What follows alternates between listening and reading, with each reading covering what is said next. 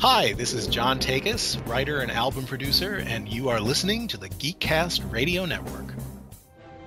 You really are a glutton for punishment. Time and again I've beaten you, humbled you. What makes you think today's outcome will be any different? Because this time, I won't stop until you're just a greasy smear on my fist. Let's go. Hello and welcome to Geekcast Radio. This is yet again another interview. I am your host, TF2 and Mike, and um, joining me almost, I think it's almost a year or so since the last time. I'll have to look this up. I actually I just had it up on on geekcastradio.com. Um, I believe it's been almost a full year since I interviewed Neil S. Bulk one of the album producers who works on uh, multiple label records. Oh no, actually, Neil was five months ago. okay, then. Yeah, I don't know time, ladies and gentlemen. Um, Neil S. Bulk, uh, he has worked with uh, La La Land Records and other companies, and we talked about Lethal Weapon. This interview, I am talking to, uh, you'll have to make sure. I I want to make sure I get your name right. It is John Takis or Takis? Uh, Takis is how we've, we've said it. I, okay. I, respond to pretty much anything. Okay. uh, so Mr. John Takis is here with us. He is a album producer who has worked on many, many different projects. Um, a couple of the biggest ones right now that most people will know is the Superman the Animated Series Volume One four disc set from La La Land Records. Uh, you also did you work on Batman the Animated Series Volume Two? I did. Uh, I was I wrote the liner notes for that project, and um, I, I did a little informal consulting, but I was not a, a producer on that album. Oh, okay, yeah. okay. Um, he has recently just released this past month from La La Land Records, uh, Batman the Animated Series Volume Three, which you did do the liner notes for that. Yep. Uh, other projects that people will know him from: uh, Star Trek Generations uh, score. Interesting. Mm-hmm. With Jeff very, Bond. Very interesting. Yeah. yeah, very interesting. Um, let's see. What else will people recognize you from? Uh, Star Trek Insurrection. I did several of the Star Trek ones uh, with Jeff Bond, um, mm-hmm. who who mainly worked on the the booklet notes, while I did uh, track by track analyses for the uh, for the website. Mm-hmm. Awesome, awesome. Uh, you also worked on uh, Batman Brave and the Bold's soundtrack release as well. Mm-hmm. Willard. Willard. Willard, a great one. Shirley Walker, one of her finest uh, film scores. Yeah. Interesting. Interesting. Um, yes, and one of the reasons why I wanted to have John on is because uh, when when the Superman the animated series set released, I nearly fell over. fell out of my chair looking at that track list because oh my god one of the things with La La Land Records and their DC animated universe um, I guess contracts or whatever that they have set up with Warner Brothers to get these things onto disc I'm always wondering what scores they're going to put on which releases and um, a few weeks ago, I talked with actually uh, MV Gerhardt and Matt Verboys, mm-hmm. the co-founders of La La Land Records, yep. and we talked about you know Batman Beyond and Justice League and more you know Batman the animated series and how they're going to be going through and getting the stuff gradually on like right now what I am most anxious for is Over the Edge and Old Wounds from Batman the animated series. I need those scores on a disc. Yes, well those especially Old Wounds. Those are fantastic scores. I, have I've uh, I've watched those quite recently and um, those ones are from the the new Batman Adventures, which is when they revamped the show while Superman was on the air. Um, so uh, yeah, it's it's it's on the agenda. um, so Batman the Animated Series Volume Three just released, like I said, mm-hmm. uh, about a, about a month ago or so. Um, well, Less than a month. Th- yeah, yeah, it's, it's about 20, about 21 weeks. days. Yeah, three weeks. Yeah, something like that. Um, it features uh, scores from Eternal Youth, Prophecy of Doom, Day of the Samurai, Night of the Ninja. Um, a whole heck of a lot of awesome music. 24 full episodes, yeah. Yes. Now that's always interesting to me how many episodes you guys can get on, whether it's a two disc or a four disc. And I noticed that um, with you guys working with La La Land, they tend to at this point go with, especially for the archival stuff, they go with the four disc or the multi disc instead of just usually the two disc sets. Yeah, well, I mean, uh, MV and Matt, uh, they're big supporters of this music, um, and uh, they've they've been very you know generous in in in producing these these very generous length sets, um, which is wonderful because it means that we can really spotlight these scores in their fullness. Um, each one, you know, kind of developed as as as its own kind of mini film score, um, and so we've we've been able to to put out a lot of stuff that we wouldn't have been able to do in the context of you know a compilation album. Um, now there are shows where where the uh, uh, like you know Young Justice, um, where it's less you know broken down by episodes um, mm-hmm. But uh, you know, it's just it's the needs of the particular project and the style of scoring. Uh, and for these Batman and, and, Superman shows, they really were conceived as these these mini movies. And uh, and so thanks to the again the generous nature of these sets, we've I think really been able to reflect and honor that. I mean, yeah, at this point, Batman the Animated Series has 10 total discs released. Yeah, it it, it blows my mind. Uh, it really does. Um, you know, I this the show came on the air when I was 12. Uh, I can't say that I was, you know, there on day one watching the very first episode. It, Batman wasn't much on my radar. This is kind of the show that put it on my radar, but I would catch it on, you know, coming home after mm-hmm. school, and I was hooked very quickly. And my first exercise in soundtrack frustration uh, was going to the local uh, Harmony House. Uh, people who are old enough will remember that establishment, uh, and saying, "Well, you know, I, I, I want the Batman the animated series soundtrack. I don't see it on the shelf. Can you order it for me?" And uh, and you know it, it took the clerk uh, some time to convince me that no such thing existed. Um, and so that was kind of my my first experience with crushing disappointment. Um, so the idea now that you know we there's so much out and and more to come even you know from these shows uh, yeah it, it's it's quite surreal to be working on it. Yeah.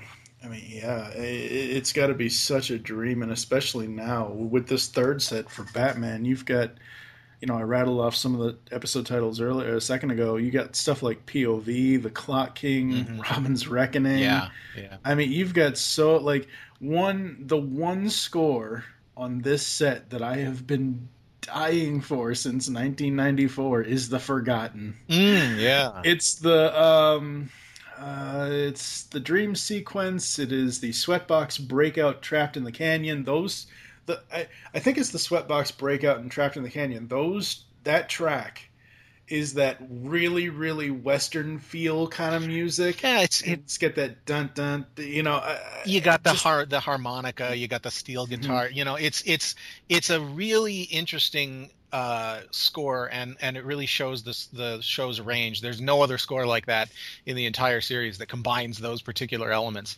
Um, it's almost got a throwback vibe to it, to, you know, like mm. kind of 70s uh, action shows. Um, but there's also just some gorgeous writing in there and the, you're right yeah the, the the moment where he recovers his identity and he has that little sequence and uh, and you see you know his parents throw him up into the air and then he doesn't come down and then there's the the tombstone um, mm-hmm. yeah sure, Shirley could take an episode that had disparate elements like that and combine them into this wonderful functioning whole um, in ways that you just wouldn't expect, but that are so uh, you know wonderful to to be able to to listen to. And that's a score that that wouldn't necessarily you know have been fast tracked for volumes one or two, because it doesn't have a major villain. Um, it's you know it's not like regarded as an all time classic of the the bat literature as it were. Um, but the music is just phenomenal, and it's such a pleasure to be able to put it out there at last. Mm.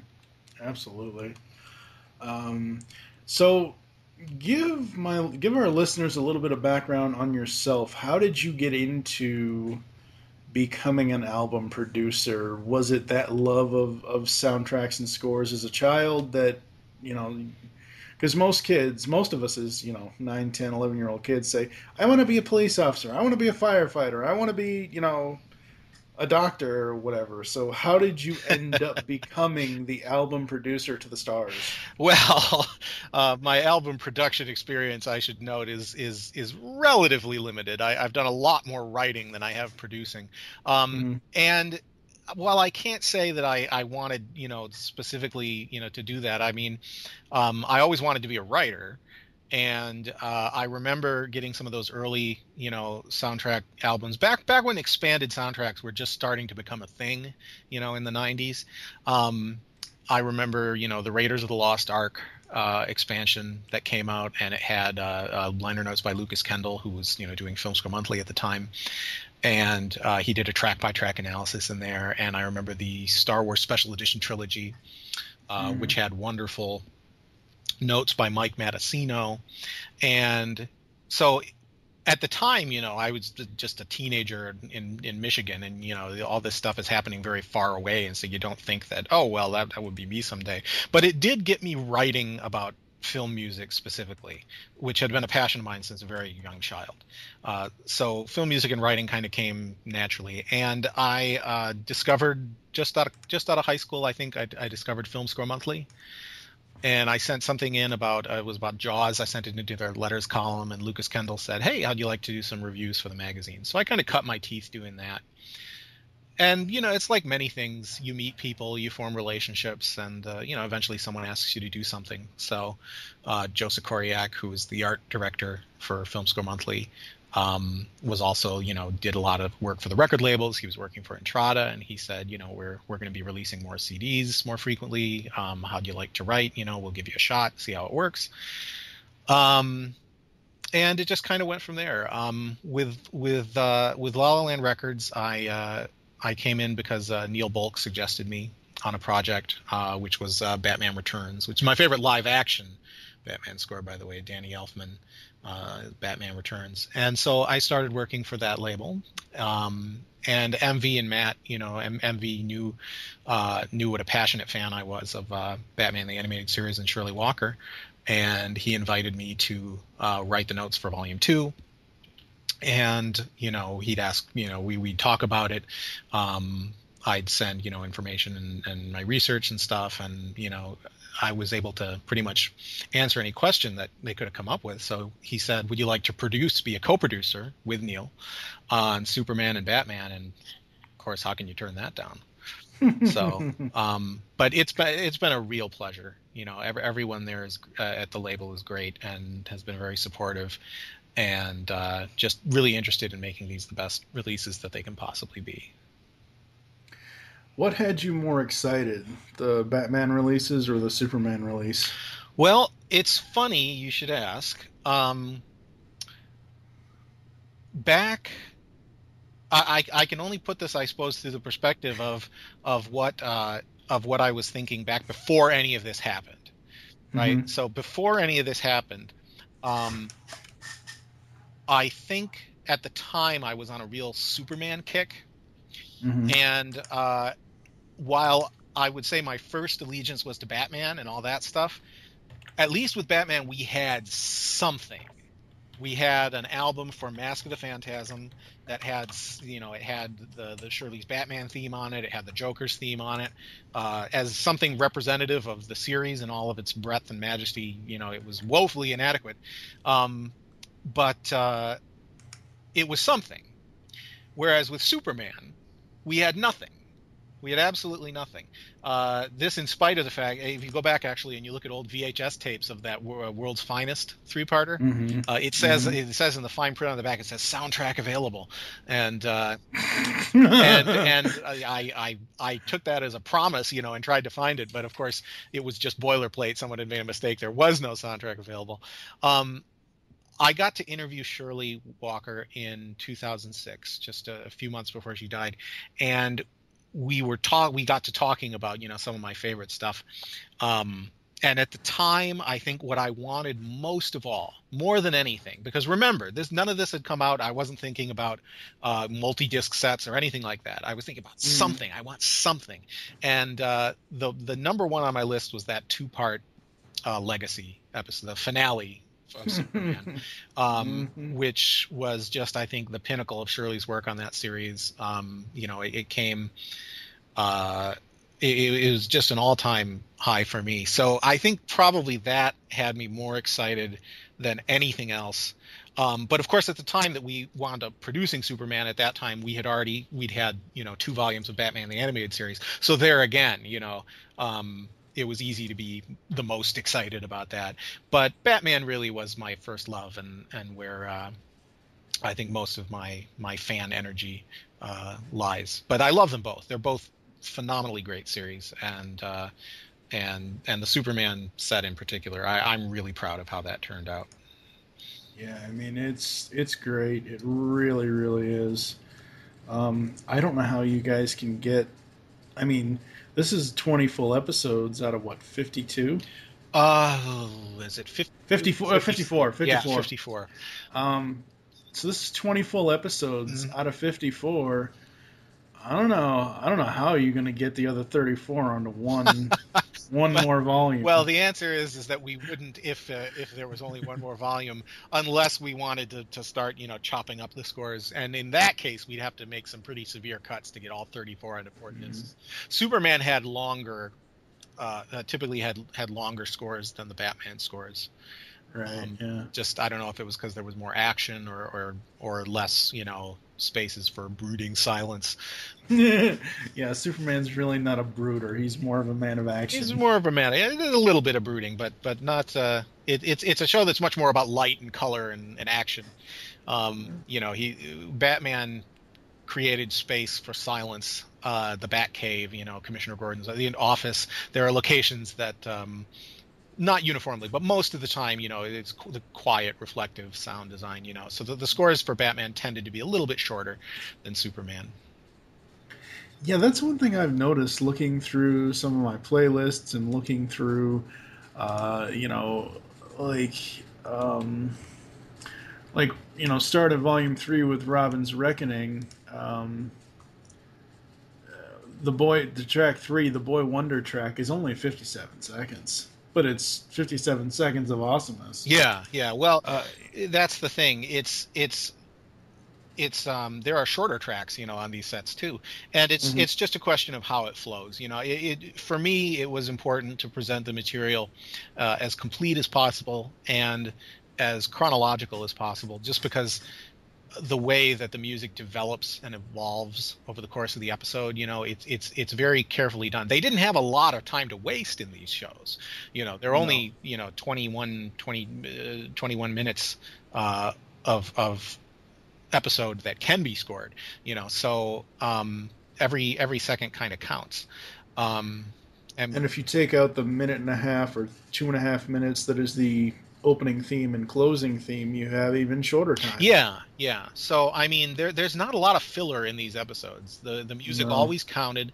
Um, Shirley, and part of that is Shirley. She was always involved with the spotting sessions. You know, determining where there should be music and where there there wouldn't. And she just had great instincts, great dramatic instincts for uh, for when when to bring in the music and and when it would play better without. Yeah, I, I remember listening to the Superman set, and it always kind of worries me when I don't hear anything, when I know something is supposed to be playing. And there's a track somewhere, I don't know, I'd have to go back and look and find it. You might know where it is. But there's a track where, on the Superman set, where it's her and Bruce Timm talking at the end of a cue. And she's talking about how Bruce and the WB guys wanted, you know, full scores, no, you know, no inserting just regular old music. They wanted composition and everything else. And I heard that and I was like, wow, I can't believe they included that on this. Because I wouldn't expect like, music of the Bat 101 in the first volume. It's like, I wouldn't think a track like that would be on there.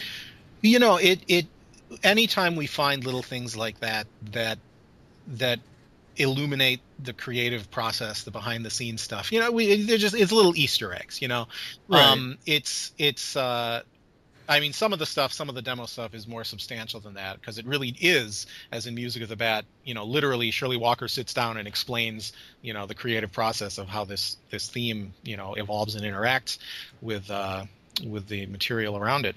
Um, so that's that can be very very illuminating. Um, and then some of the stuff, you know, we we just throw on there as an Easter egg because it's fun. Um, and it all, you know, we want to convey a little bit something of the spirit of the people who are working on this. You know, this mm-hmm. the, the, these these were these were professionals, uh, but they loved what they did and they had a good time doing it. Um, and so you know, it, it's good to it's good to convey that. Absolutely. Um, so, as a producer, walk us through, walk the listeners through kind of what the the process is for you and what you have to do to get something like Superman or something like Batman Volume Three out to us as as listeners? Well, it it's it starts above my level. You know, it starts where where mm-hmm. MV or Matt say, okay, this is going to be the release. This is going to be the scope of the release. Mm-hmm. Um, in the case of uh, of of Batman and Superman, you know, they we we may come down from the beginning and say, okay, we're going to include you know A, B, and C, and then the rest has to kind of be put together so um, it involves me kind of going back and and uh, you know making a lot of notes and trying out a lot of combinations. Um, I I try and you know figure out how much music is in each episode, how the episodes are going to play together on a disc. You know how to which episodes you're going to pick for this set. Um, how to arrange them so that it's a satisfying, you know, listening experience for people who just want to pop in their CD and hit play. Um, mm-hmm. So there's a lot of kind of logistical figuring things out. Um, and then uh, my co-producer Neil S. Bulk over in LA um, is tasked with kind of uh, uh, actually obtaining the material, transferring the tapes, um, getting everything ready to be mastered. Uh, mm-hmm. Then I have to sit down and and we we figure out um, how the how the tracks are going to be sequenced. You know, which cues are you going to combine? Uh, how are you going to combine them? Um, so again, more logistical stuff. Um, you have to make sure that everything you want on the disc is going to fit on the disc, um, where you're going to put the bonus tracks, um, and actually getting the materials. You know, sometimes uh, the composers have you know DATs handy. Um, some things we get from the studio. Uh, once in a while, things you know we have to hunt for things um, that aren't immediately apparent. Um, but uh, once we have everything, once we figured out exactly how it's going to go, then it you know it goes off to get mastered. I've got to write the notes, um, or you know someone if it was a, a, release I was not writing for would have to write the notes. Mm-hmm. Um, you get it to the art director on on Superman. We had uh, uh, Jim Titus, um, Batman the animated series volume three, uh, Dan Goldwasser. Um, and there's a you know there's a long process of choosing the images and you, you got to review the text you got to make sure that that uh, it's as error free as you know you, you can reasonably make it um, i'll correct whatever typos you catch um, and then everything needs to get submitted uh, to the studio for their approval. So you know it's it's a it's a pretty involved process but uh, you know the, everyone involved over there is is old pros at it by this time so. Oh yeah, absolutely. Um, what uh, what is one episode that has yet to be released that you are hoping for at this point? Well, at this the the number one thing because th- this goes back to that, like I said, that original conversation with Shirley Walker, mm-hmm. um, and uh, you know she she she um, she and I were were talking about you know what what some of my favorite things were uh, that she'd worked on that she'd uh, been able to do. Um, and there was Superman Legacy, like I said, and then I I came up with I think with you know I, I I sent little little fan letters, mini fan letters of praise for like my top five episodes. Um, from Batman the Animated Series and the spin-offs there, and four of those have already been released. Um, the the last one that hasn't been released yet because it's part of the Adventures of Batman and Robin block mm-hmm. is uh, Harlequinade. Harlequinade was probably is, is, way up there in my all-time favorite series scores. Um, so of the ones that have yet to be released, I would say that's uh, that's tops on my list. Awesome, awesome. What um as far as other projects you have going on, what else are you working on at this point in time? Oh, I couldn't say. oh, come on. I really can't. Um, you know, if you're talking to a label head, they can come out and say, "Oh yeah, we're we're working on this, we're working on that." I'm a, a little bit further down on the totem pole, so it's it's not for me to give anything away. I can tell you that you know we are working on more DC animated stuff. Um, you know, it's there's more great stuff coming down the pipeline. Um, I'm trying to think. Um, I did uh, the notes for the last Starfighter for Intrada. That's one that's not a secret. That's that's coming out very soon. Just as soon as I think the studio artwork approvals come through. Um, so there's that. Um, I'm trying to think if there's anything else I can talk about. There's not a lot. I'm sorry. um, all right. Uh, you're also you you know you said you grew up wanting to be a writer, and you you are also a writer. What um, you know, looking at your website here, you've um, written some otherworldly type stories. yeah, I, have done a little a little speculative fiction, um, mostly playing in other people's sandboxes, like uh, uh, the, the some of the, the the Star Trek Strange New Worlds anthologies from Pocket Books. Mm-hmm. Um, I've got a story in a Professor Challenger anthology coming out next year. So yeah, I, have dabbled in, in fiction, and also a little bit of nonfiction outside the film music world. I, I did a historical article for a local Michigan magazine a while back. Um, but most of what I write these days, you know, most of the energy goes into uh, liner notes. Mm-hmm. Yeah, it's so nice. Uh, you know, La La Land specifically because those are the people that I deal with. I mean, I bought the Transformers the movie score from Vince DiCola from Intrada. I got that from them, but like La La Land Records, they are, in my personal opinion, the premier soundtrack and score company at this point. Um, and they're still, still putting discs out. You know, in, in an age where you'd think, oh, well, it'd be much easier to just let people, you know, have a digital version of it. Well, you know, yeah.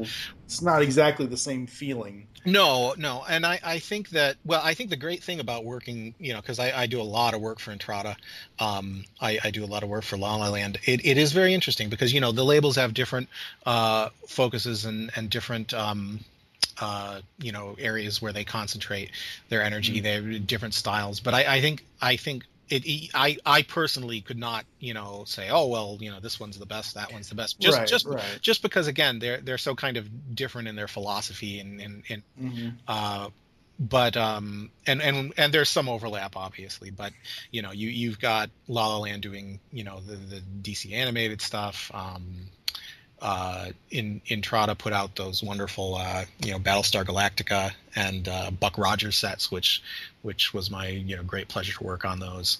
Um, so we're we're just we're very fortunate, I think, that that the market is the way it is, and that we're getting you know more stuff now than we've ever gotten in the past. So many holy grails, so many dream projects. Um,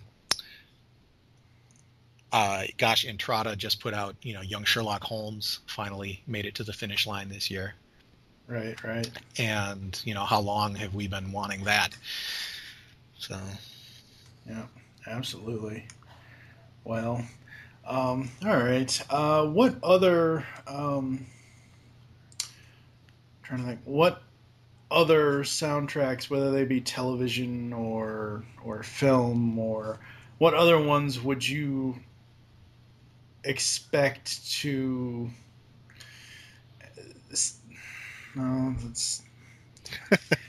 I'm trying to think of how to word this without asking, like, obviously the question I already asked. It, it, it's um, it's probably dangerous even for me to speculate yeah, because you know pe- yeah. people may read my my speculations into into coy hints at something that's yet to come.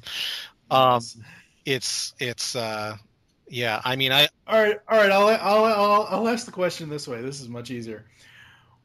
What project, whether it be animation, television, film, video game, whatever, what soundtrack project that has never had a soundtrack release would you want the most? in the future of any kind, any kind, anything that is, but that, that has never been released. Oh goodness gracious, that's a tough one. um. I don't know. I don't know. Um, gosh, it's it's it's because so many, of course, so many of the great ones have been released in some shape or form, in some way.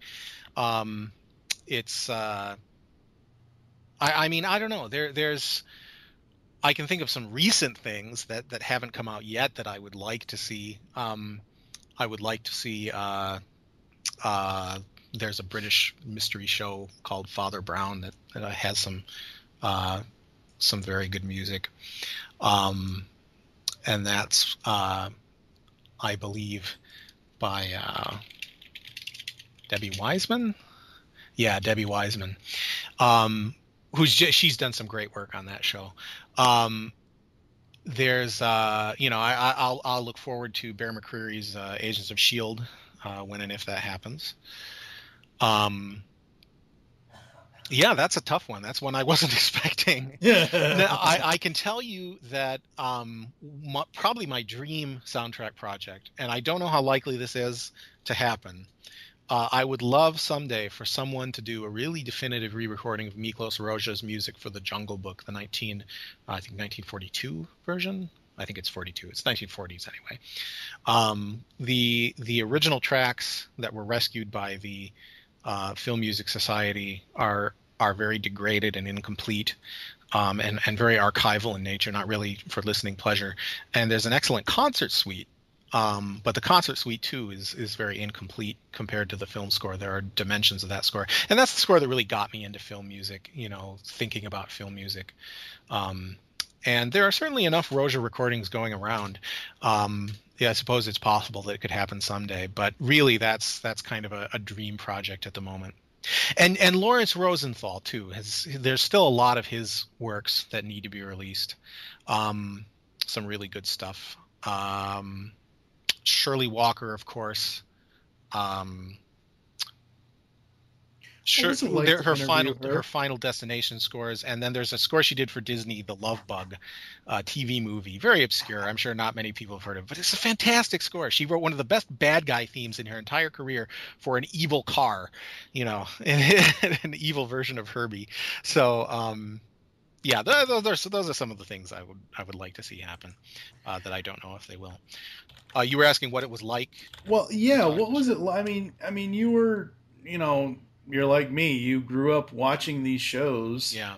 And you grew. I, I'm sure I knew her name at some point, or you know, you see the names in the credits. You might not know who exactly it is, but you know what I mean. So, what was it like, just sitting down and talking with her? Oh, it was fantastic. I mean, the thing is, again, I, I had been an admirer of her for such a long time. At the time I interviewed her in 2006, I had not done a lot of I, I hadn't really done any high what I'd call high profile interviews. Um, and the whole experience of interviewing someone was was still pretty new and intimidating to me. Um, and so I kind of put it off for a long time. Uh, partly because it, it, you know there there she wasn't uh, doing any big stuff with the superhero uh, stuff for a while uh, after after Superman and Batman Beyond. Um, and so you know I, I was kind of had wanted to have a good good hook, and ultimately I decided, well, let's just do it. Um, my friend uh, Doug Adams, who uh, is a, is also um, he's the author of the music of the Lord of the Rings films. Um, he's a, associate of Howard Shore. Um, he had interviewed Shirley a few years back and he said well you know you, you really ought to do it. You know he, he kind of prodded me into it um, and said yeah there's there's no reason to wait any longer. It'll be fine. She's you know she's great great to talk to. Um, so we set it up and she was you know more than happy to speak to me and she was just an extraordinarily kind and funny and generous um, you know she put me right at my ease and uh, it meant a lot you know, because I had always loved her work. I had always felt and still do, that, you know, that, that she did not, has not gotten enough credit. Um, for for what an extraordinary uh, person she was and an extraordinary composer she was. Just one of the all-time greats. Um, and it, it, meant an awful lot. It was it, I was on cloud nine at the end of the interview. You know, um, we'd uh, we emailed a few times in the subsequent weeks. I was hoping to interview her again, maybe after Black Christmas came out. Um, but of course, a few weeks later, she she very tragically passed away, and so I was I was devastated. Um, so you know, lo- looking back on the whole experience, I I think on the one hand, my God, how sad it was, how tragic it was. Um, you know, she was so loved and admired, and she was taken from us far too soon. Um, mm. But I also feel just extraordinarily fortunate to have been able to make that connection. Um, and again, you know, thank thank goodness that that that Doug prompted me to do it when I did because you know you, you don't think about that sort of thing. Mm-hmm. But I would not, you know, at, at that point, the after that, the opportunity would have been gone if we'd waited any longer.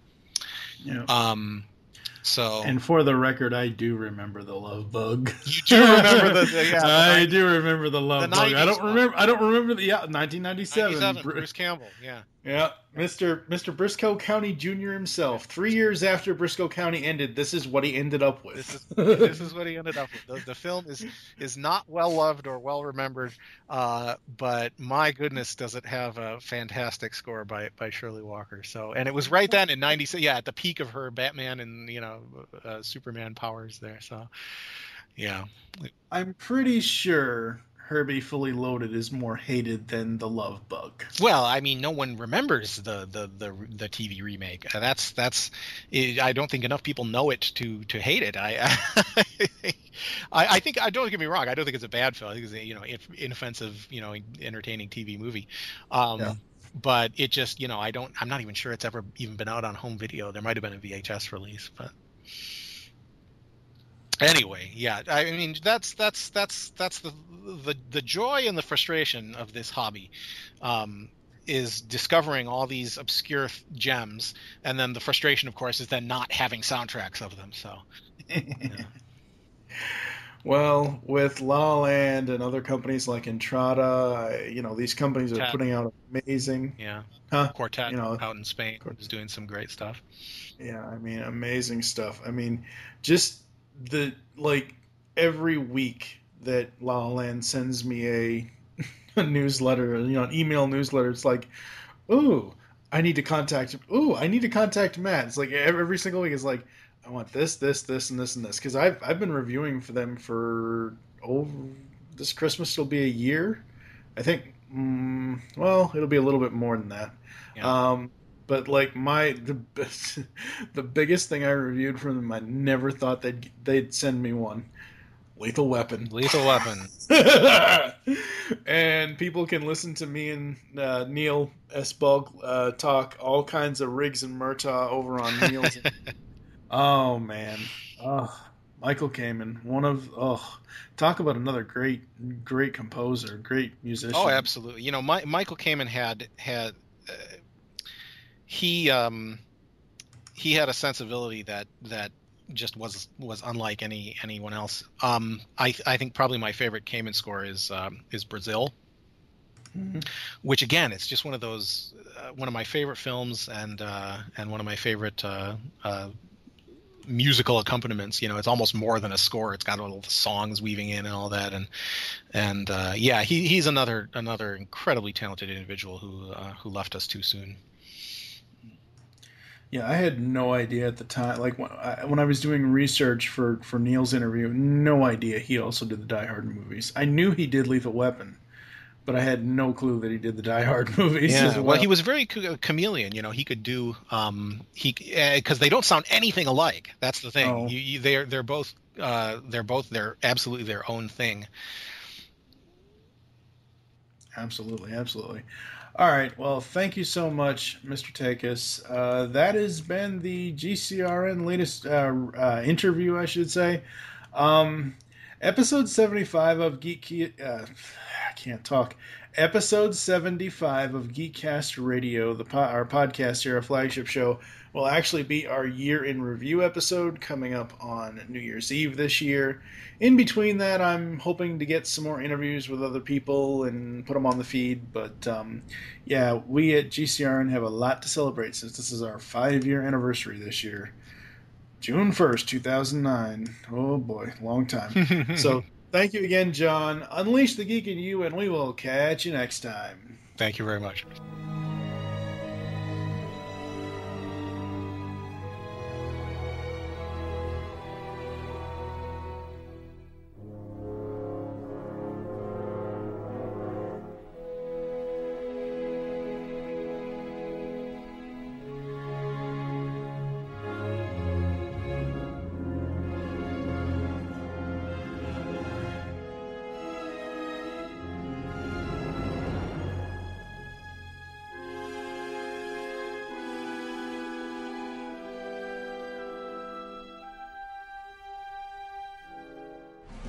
Still try to fight.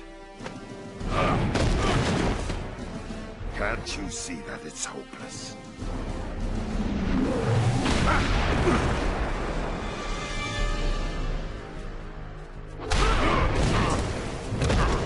That man won't quit as long as he can still draw a breath. None of my teammates will. Me? I've got a different problem.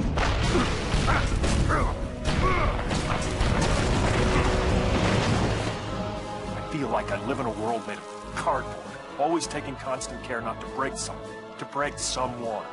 Never allowing myself to lose control, even for a moment, or someone could die.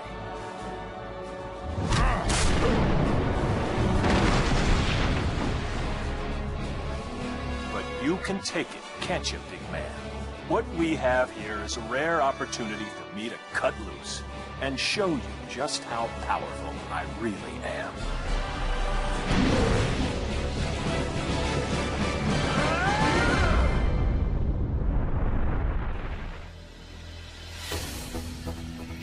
Just listened to Geekcast Radio on the Geekcast Radio Network. There are several ways to get in contact with us or leave feedback for the show. First, visit the website, geekcastradio.com, where you can comment on all of our different podcasts. Second, you can rate our show and leave us feedback in iTunes. Third, follow us on Twitter at Geekcast Radio. Fourth, become a fan on Facebook. Go to facebook.com slash geekcastradio. Call the voicemail line 502-526-5821. Please remember to tell us the show you are leaving the message for and your name. So until next time, unleash the geek in you.